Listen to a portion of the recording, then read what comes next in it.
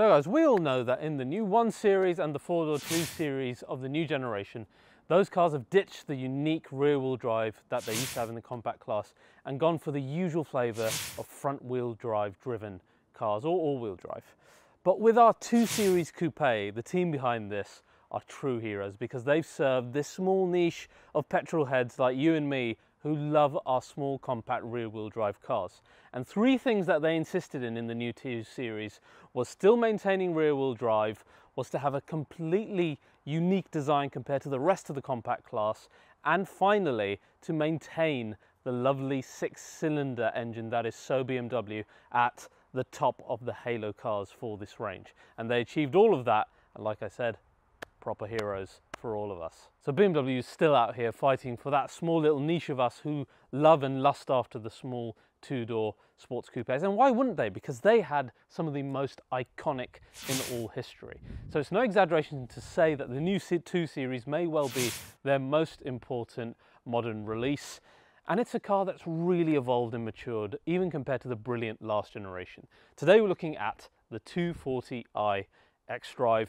It is a fully loaded machine that I've done a load of miles in, got loads to feed back to you about this car. I'm going to show you everything under the skin, how it links more to 3 and 4 series rather than the 1 series, almost like a smaller version of the higher end cars, which is great. We'll talk about the future M2 as well. So let's unpack absolutely everything today about the brand new 2 Series in this, the 240i xDrive.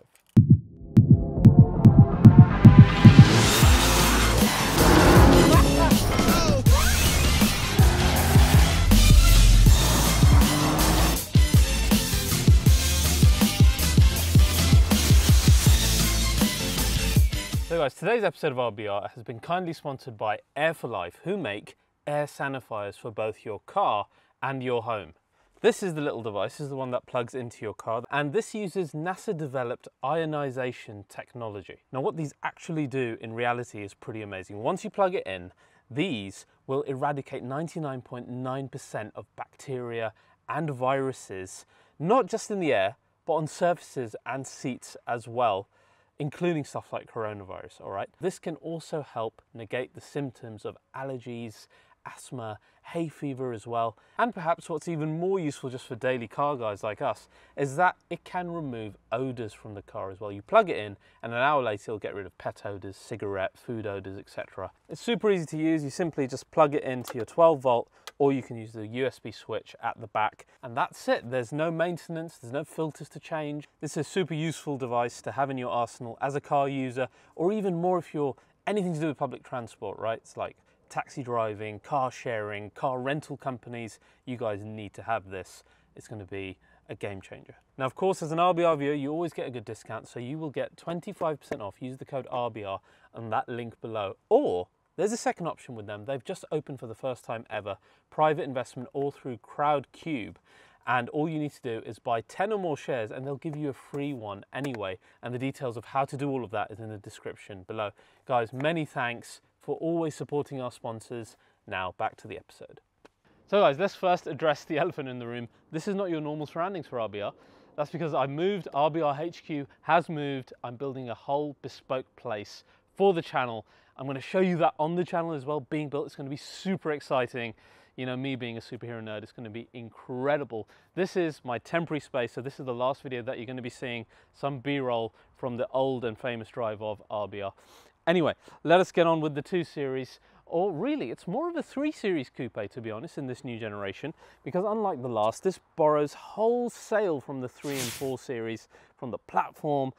Indeed, our 240i's really just wholesale takes everything from the 440i coupe in arguably a more handsome body form. So, like I said, this is probably the most important modern BMW because BMW's history is so ingrained with the sporty two-door coupe, starting all the way back with the BMW 02. BMW say that the new 2 Series kind of links to that car in design with the really bold and singular front headlights. I think that's pretty much it, and the fact that it's the smallest in the range. But you get the idea that it's linking back to that. The more famous car was, of course, the E30, which is really a predecessor more to this than the 4 Series, which is so huge now. That, of course, really started the trend of the small two-door four seat sport BMW And of course, you know, the M3 of that generation so iconic. But really the predecessor to this car directly would be our E82 1 Series Coupe. Now this was a revolution at the time. It was a rear wheel drive, small, compact, two door, four seat car that really finally harkened back to the E30 in the modern generation. Um, it still had a lovely six cylinder engine, some nice naturally aspirated smaller engines as well. Indeed, the rest of the 1 Series back then, including the hatchbacks, all rear wheel drive, really unique. And then we had the lovely Halo 1M car. So this was a time for BMW enthusiasts to get excited about compact cars because they had proper BMW DNA in a smaller package. And it sold so well, unsurprisingly. Then we had the F22, which was, of course, such a well-known generation. Even in its simplest form, the coupe, so much more handsome than its predecessor. We had a 240i xDrive in that, which kind of links to our car today, but otherwise mainly rear-wheel drive. A lot of the tech was still one series, but then when it came to Halo cars, oh my God, our M2, what a car. Even the original one, fantastic engine, probably better than the engine that followed later into it from the M3 and the M4. Now, although this was called the 2 Series, it was still very much taking all the tech from the 1 Series. The only reason the name was changed because now all BMW two-door coupes were having even numbers, so 2, 4 and 8. But the tech the trim, etc., even in the high-end M2, very much still one series. And we kind of forgave it that because it drove so fantastically well. You didn't care about the plastics and whatnot inside the interior. And of course, we headlined in the end with the fantastic M2 CS, which I owned and did so many miles. And I, I miss this car so much. I had to sell it, as you guys know, to afford a much uh, more expensive car, but I still miss it today. It was really a complete sports car. Then we come to today's car. And this is a massive, massive change in terms of technology. Like I said, this is more of a 3 Series Coupe because the new 2 Series Coupe shares basically no parts with the 4-door 2 Series lineup. Instead, it uses the CLAR platform that we have the 3 Series and 4 Series sitting on.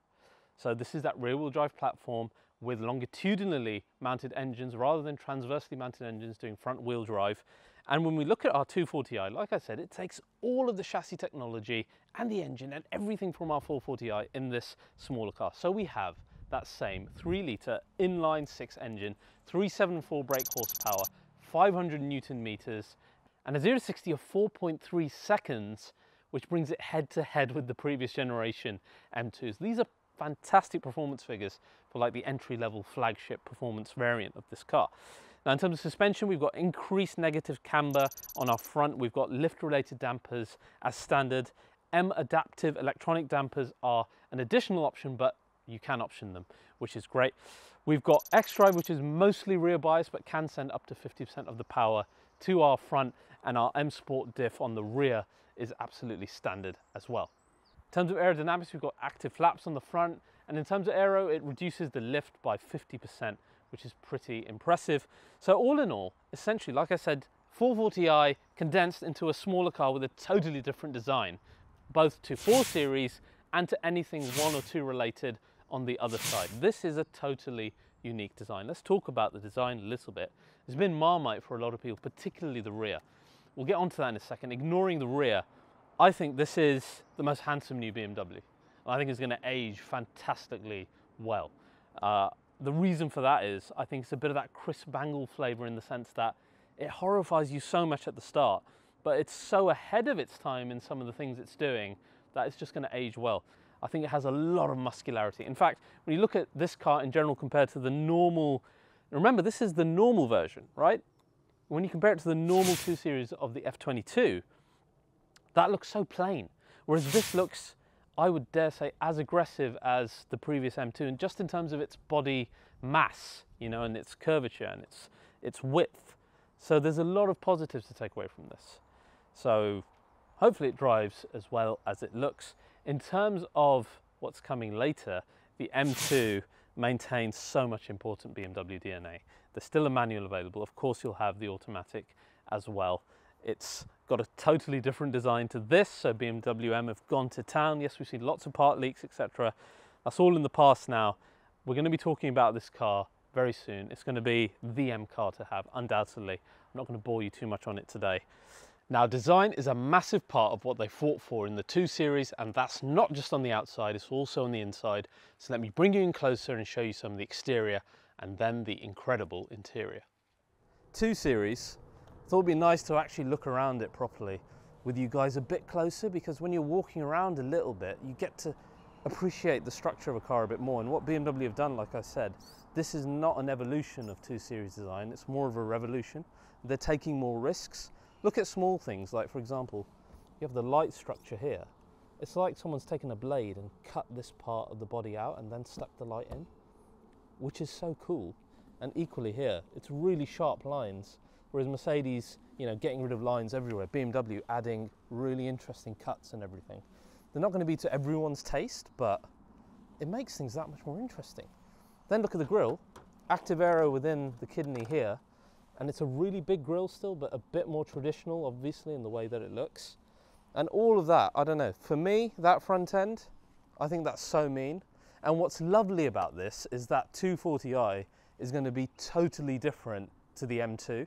And that's nice as well because 2 Series already different to 3 and 4 completely on design um, then it also gets to differentiate to M2, which is cool. Then you come around the side and again, similar story, more of a revolution than an evolution.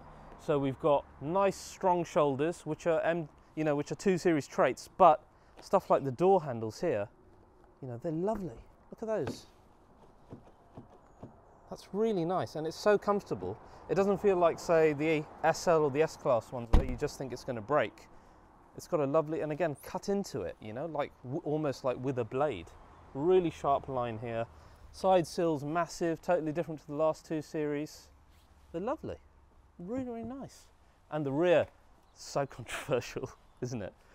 I actually think it works really well. All it needs is another is a spoiler like instead of here, here and protruding that way, and it would look great. Maybe, I mean, Jamie mentioned that maybe the diffuser could be a little bit different to take the eye off it. I, I think it's all right, but M performance parts, etc., could sort that out. But the more you look at this, particularly from that kind of, from that view over there, the three quarter, I think you then begin to appreciate it.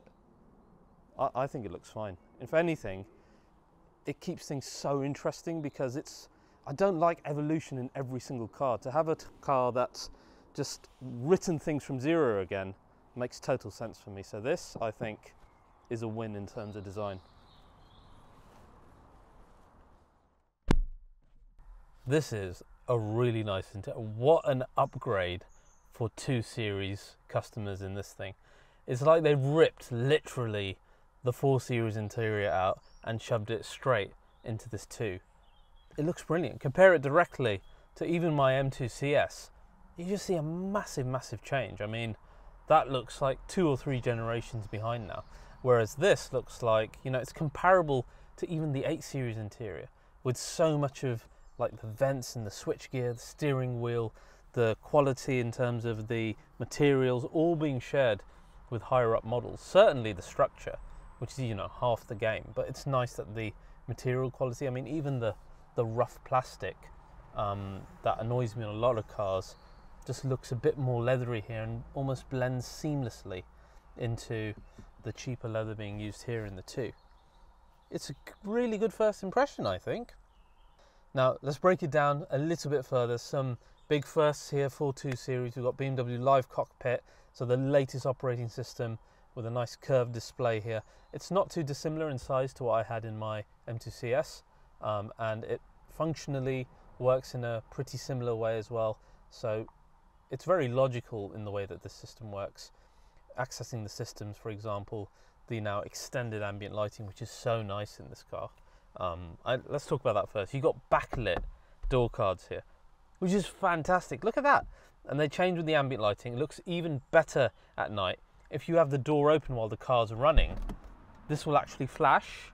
So let's say you haven't closed your door quite properly. You will know immediately because the lights within that backlit panel will start flashing. And then at night, generally the ambience of the ambient lighting is nice. You've got a nice selection of colors here as well. You know, again, all of this new to 2 series really brings the car up a notch and that's lovely. I love the door card in general.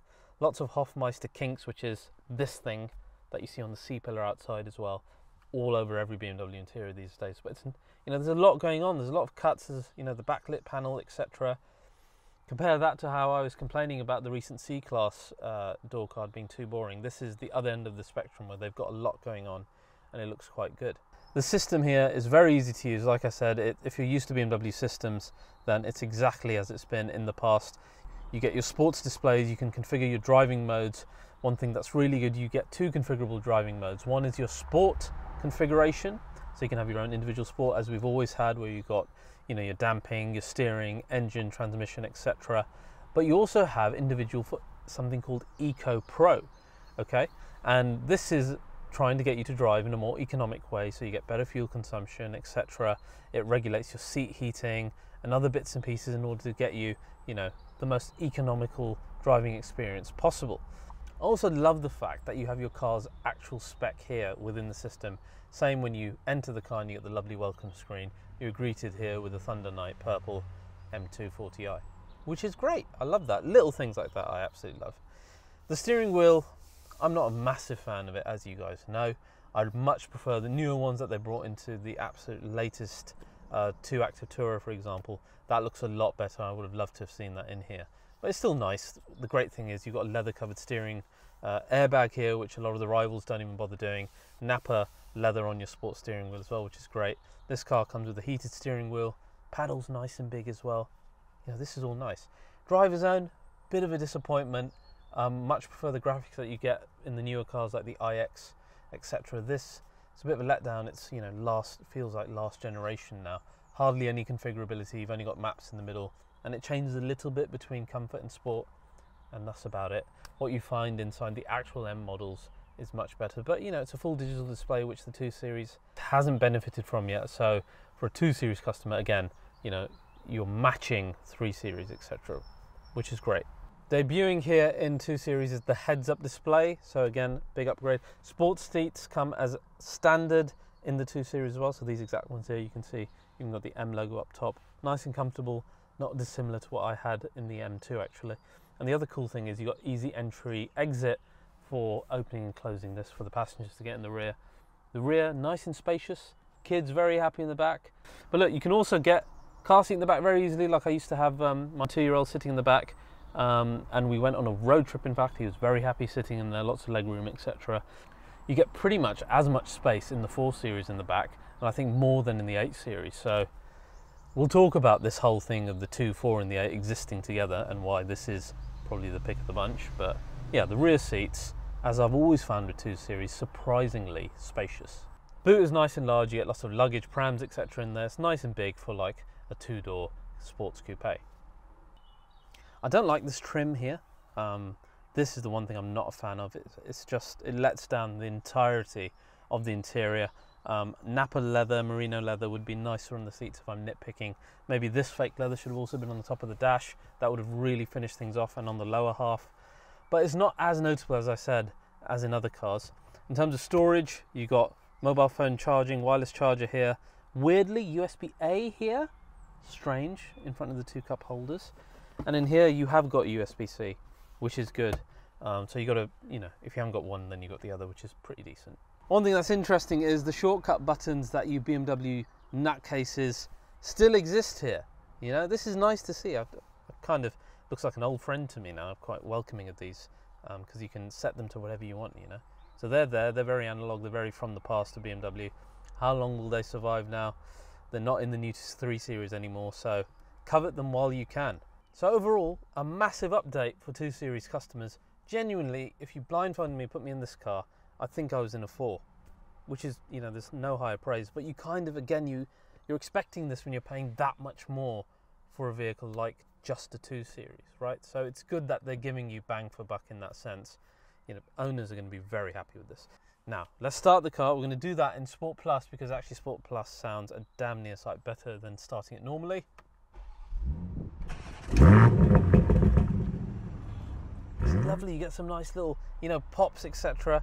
Revs, there's no rev limiter and it's still, you know, the revs aren't that exciting.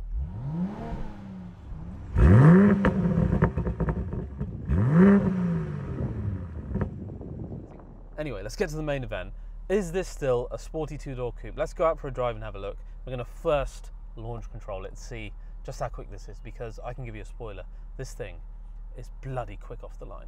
Right guys, no messing around. Let's put this car straight into Sport Plus. Like I said, double tap of Sport button to get into Sport Plus. Let's launch control it and see what does this do. First of all, 0 to 60. Now, in order to try and activate launch control, I've turned the DSC off, put it in manual mode, Sport Plus, etc. All the stuff you do in M3 and M4. Yet this car doesn't ever seem to say launch control activated. Either way, I seem to be getting the fastest speeds with this, so let's try it now.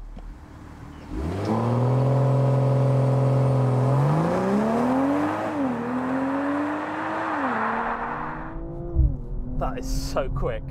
Um, as you can see here, measured at 3.8 seconds which is what 0.5 seconds faster than the official figures. I've also tested at 3.9, consistently doing that speed, so really impressive. Course, we have to give credit to the xDrive system to that, which of course on the one side makes the car heavier, but on the other side gives us great traction, especially off the line. As you can see, I mean, 3.8 seconds, that is flipping fast. We kept saying, you know, the performance of this 240i is so close to the original M2, and it really is. If not, it's faster. I mean, I struggle to get those kind of times out of my CS. Let's be honest, you guys have seen the videos. Um, so, in terms of pure speed, 240i has that nailed down in the xDrive. I do wonder how much the upcoming rear wheel drive top level of the non M2 2 series will be like when it comes to a 0 to 60. How much will it suffer in comparison? I don't think it'll be that different. And as I'll discuss as we go through this, perhaps the benefits of the rear wheel drive will outweigh the fact that you have a little bit less speed. But now let's talk about first impressions while driving this car. First impressions here are this is feeling a much more grown up car than the previous 2 series. Um, it actually reminds me quite a bit of my M2 CS in the way that I really liked how the suspension was sorted in that car. You know, where it was dynamic, but it still had that comfort that you just didn't expect out of a car with the CS badging on it. This feels very much like 4 Series, very much like 8 Series in the way that it still kind of cosets you while maintaining, you know, fairly nimble on its feet. Your first 100 yards impression is if you were blindfolded, you're sitting in a 440i. And then when you're not blindfolded, you're also sitting in a 440i. I mean, this is such bang for buck. And it kind of confuses me. Why do you have the 4 Series still when the two is really, really so good in terms of luxury, comfort, um, you know, the quality of materials, etc. I'm not trying to knock down the 4 Series or the 340i. You guys know that I love those cars, but to have all that quality in a 2 Series is something I'm not used to having owned a couple of M2s. This looks so much nicer, so much nicer than my M2. And I, I know I keep saying that, but I have to double down on that, particularly when I include the suspension element, because it is just really nice. Horrible roads here. I took the new C class on here not long ago, and it juddered and it juddered and juddered, particularly across these corners here, there. Whereas this 2 Series is pretty much soaking it up. Of course, this car has got slightly better adaptive suspension than your standard 2 Series because BMW have hacked around with it. But either way, the effect of it is really comfortable. Now you have to understand how important that is because these cars are expensive now, okay? And like I said in the C Class review, when you're paying that much money for an entry level car, essentially, you are really expecting good suspension, good dynamism, and good luxury. Because if these car makers want to take the piss, frankly speaking, on pricing, then they have to provide things in lieu of. And BMW are here with the 2 Series. You are getting, instead of like a dumbed down anything, you're not. You're getting the best that a 2 Series can be in the package that it is. And all of that, to be honest, was in Sport Plus mode as well. If I put it into comfort, it's even better. And I'm really sorry that I'm starting a sports cars review talking about comfort and suspension because it's not something that I was expecting. In comfort, it's even better and it deals with things even better than it, of course, does in Sport Plus. And then you've got Eco Pro, which was brilliant. I took this car on a trip to Chester, uh, up towards Liverpool, etc. Um, we absolutely loved it as a family in the car. Motorway, I was easily topping, you know, 35 mpg uh, there and back, which in a little sports car like this, you're more than happy with. You know, that's brilliant, particularly with fuel prices these days. yeah, as a daily, really good. Now, enough about that. Sport Plus. Let's give it some beans. It's a lovely engine, the M96. We know that already. We've seen it in the 440i. We've seen it in the 340i. It is a lovely, characterful engine. I have found it to be a little bit laggy in this, particularly from the off. Maybe not enough torque in the lower end, but once you get going, it is, you know, a really responsive, nice sounding BMW engine. Gearbox is your usual flavour of the 8-speed torque converter. It shifts fairly decently, you know, for a torque converter box, and we're quite used to it in the BMWs now. Um, and you do get some nice sounds as you start playing through the gears, but there's not really any pops and bangs, etc. But the gearbox is nice. It's you know, for a 240i, responsive enough and it doesn't discourage you from using the paddles. So the engine is nice, the gearbox is lovely as well.